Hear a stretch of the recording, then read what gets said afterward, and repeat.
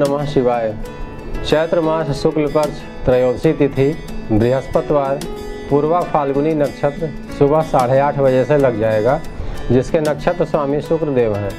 आज के जन्मे जातक सुंदर, तेजस्वी, गंभीर, साहसी और यात्रा प्रिय होते हैं। ये ईमानदार, उदार हृदय वाले, संगीत प्रेमी और शौकीन होते हैं। कीमती वस्तुओं और आभूषणों के प्रेमी शेयर और सट्टेबाजारी में रुचि रखने वाले विश्वास पात्र और अपनी अभिलाषाओं की पूर्ति करने में समर्थ होते हैं। ये धर्म को मानने वाले और मान सम्मान को अधिक महत्व देने वाले भी होते हैं। यदि सहयोगी लग्न रहा, सूर्य और शुक्र की स्थिति अनुकूल रही तो पूर्ण सफल होंगे।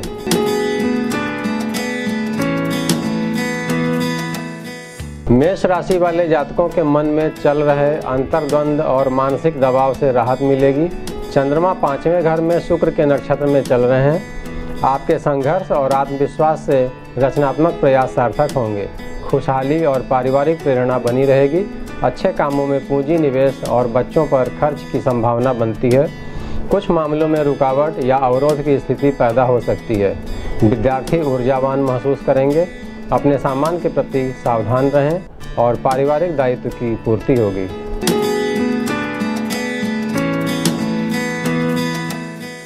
वृष राशि से चंद्रमा चौथे भाव में शुक्र के नक्षत्र में चल रहे हैं। आपकी सक्रियता और कार्यक्षमता व्यावसायिक उद्देश्य के साथ ही घर गृहस्थी के भी रचनात्मक कार्यों के प्रति केंद्रित होगी। थोड़ी बहुत रुकावटों के बावजूद भी आप अपने लक्ष्य को हासिल कर लेंगे। नई कार्य योजनाओं का प्रस्ताव मिल सकता है। साथ ही सामाजिक सहयोग आपको मिलता जाएगा। मगर विभागीय अधिकारियों का सहयोग कम हो सकता है। संतान संबंधी चिंता दूर होगी। मांगलिक कार्यक्रम के लिए समय अनुकूल है। स्वास्थ्य को नज़रअंदाज ना करें। उचित चिकित्सकीय परामर्श आवश्यक होगा।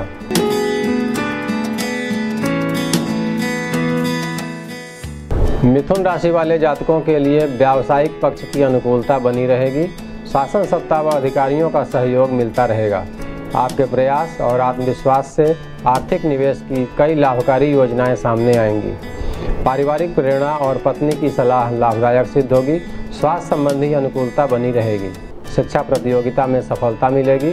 संतान संबंधी शुभ समाचार मिल सकता है। वैवाहिक मामलों के लिए समय अनुकूल है।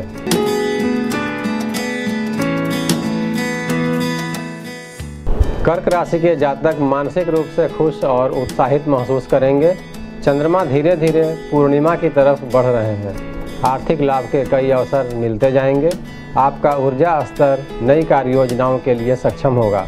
सकारात्मक निर्णय लेते हुए कार्य रूप में परिवर्तित करते जाएँ। संतान व आर्थिक पक्ष अनुकूल रहेगा। शिक्षा प्रतियोगिता के क्षेत्र में सफलता मिलेगी।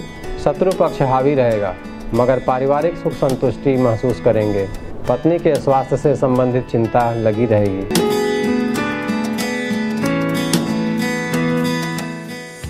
सिंह राशि के जातक मानसिक रूप से ऊर्जावान और सौंदर्य प्रधान मानसिकता महसूस करेंगे, मगर स्वास्थ्य संबंधी सावधानियाँ रखनी होंगी।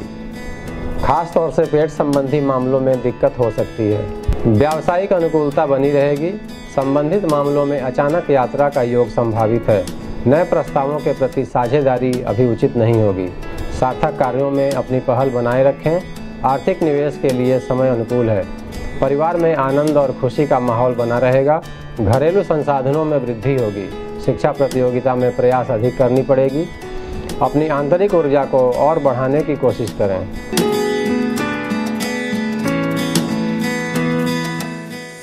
कन्या राशि के राशि स्वामी बुद्ध वक्री और अस्त चल रहे हैं, जिससे स्वास्थ्य संबंधी मामले में सावधानी अपेक्षित है।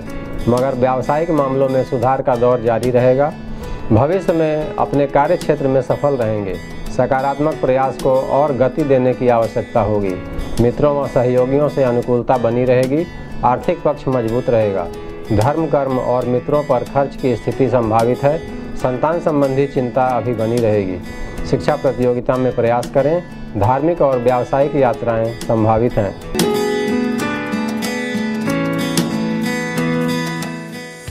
तुला राशि के जातकों को स्वास्थ्य संबंधी मामलों में सुधार मिलता जाएगा, मगर मन का अंतर्द्वंद आपके कार्य क्षेत्र और ऊर्जा स्तर को प्रभावित करता रहेगा। हालाँकि, अच्छे कामों में वित्तीय निवेश के लिए सहयोग मिलता जाएगा। व्यावसायिक अनियमितताएँ संभावित हैं इसका आपको ध्यान रखना होगा। यदि आप सरकारी विभाग में हैं तो भी आर्थिक लेन देन व सरकारी कागजातों को ध्यान से पढ़कर उसका निपटारा करें। संतान संबंधी अनुकूलता बनी रहेगी स्वास्थ्य संबंधी अनुकूलता बनाए रखने के लिए योगा और व्यायाम उचित होगा।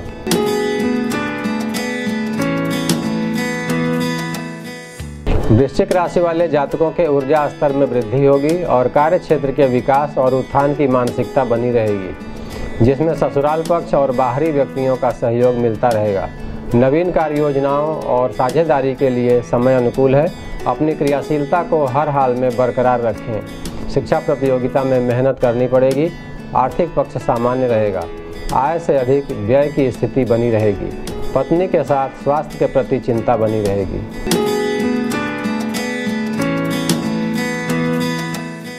धनु राशि वाले जातकों की आलस्य प्रधान मानसिकता संभावित है, आराम करने की प्रवृत्ति में वृद्धि होगी। यदि धैर्य, आत्मविश्वास और सक्रियता बनी रही तो कार्य योजनाओं में सफल रहेंगे। और नए प्रस्ताव सामने आएँगे। सुख और संतुष्टि महसूस करेंगे। विवादों के निपटाने का योग बनता है। शिक्षा प्रतियोगिता और संतान के मामलों में सहयोग मिलता रहेगा। पारिवारिक उद्देश्यों की पूर्ति में भी मन लगा रहेगा। धार्मिक भावना में वृद्धि होगी और देव दर्शन के योग बनते हैं।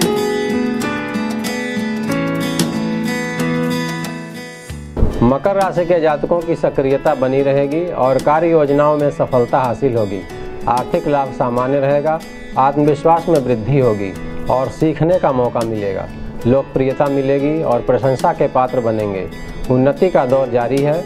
कार्य क्षेत्र से संबंधित यात्रा संभावित है। संतान संबंधी शुभ समाचार मिल सकता है। शिक्षा प्रतियोगिता में सफलता मिलेगी। साथ ही अपने स्वास्थ्य पर आवश्यक सावधानी बरकरार रखें।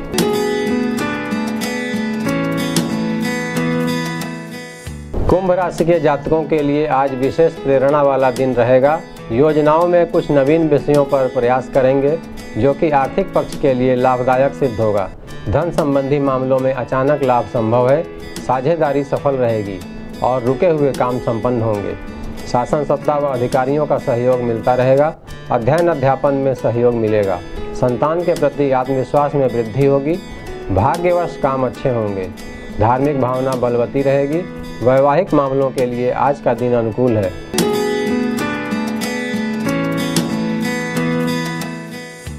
मीन राशि वाले जातकों के दिनचर्या में आलस्य और अकर्मण्यता संभावित है। चंद्रमा के छठवें और शुक्र के नक्षत्र में होने की वजह से कार्य क्षेत्र को नज़रअंदाज करने की प्रवृत्ति बनी रहेगी। आत्मविश्वास और सक्रियता कम होने से रचनात्मक कार्यों में बाधा संभावित है। हालाँकि व्यावसायिक अनुकूलता बनी रहेगी। आर्थिक पक्ष आपके मेहनत और धैर्य के अनुरूप बना रहेगा। विभागीय अधिकारियों से सहयोग व लाभ मिल सकता है। साथ ही स्वास्थ्य संबंधी विशेष सावधानी रखनी चाहिए।